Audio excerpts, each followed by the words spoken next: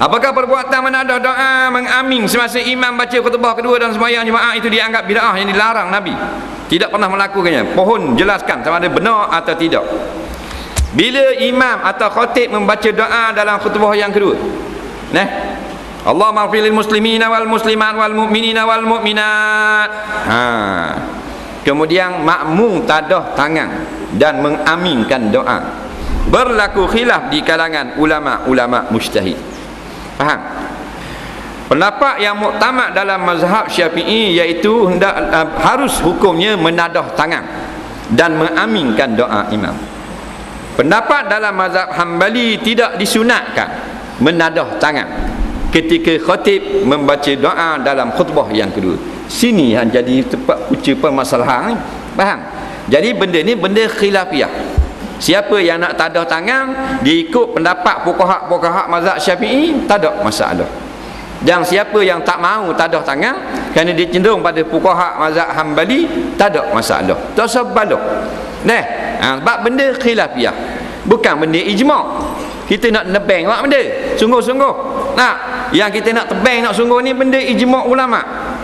No tidak berhukum dengan hukum daripada Quran dan hadis hak tu ijma' ulama. Hak tu baru kita sungguh nah joget atas petah tak ting tak ting.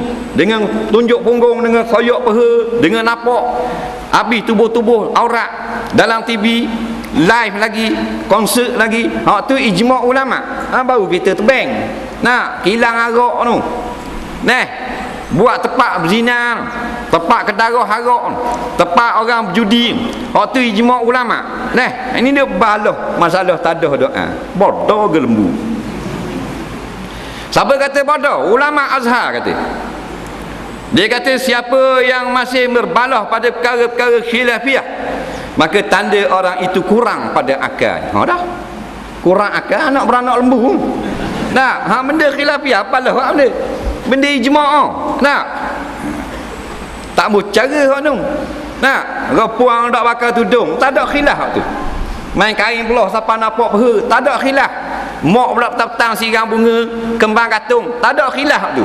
Baru waktu bilik fatwa. Nah ke ada khilaf mazhab Hanafi boleh kembang katung. Tak ada. Ha harta negara tidak dibahagikan sama adil kepada rakyat. Ha, tu tak ada khilaf tu. Kezaliman bermaharaja lela. Nah ni benda khilafiah ini tak secara ulama ni kata harus ulama ni kata tak boleh. Ha, ikut hak mana kita nak ikut? Nah